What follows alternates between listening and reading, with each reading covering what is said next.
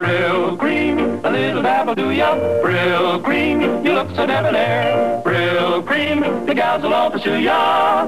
They'll love to get their fingers in your hair. Use Brylcreem and put life in your hair. Miss, why did you buy a new Ford Fairlane? Are you kidding? Where else could I get that Fairlane feeling? What's that?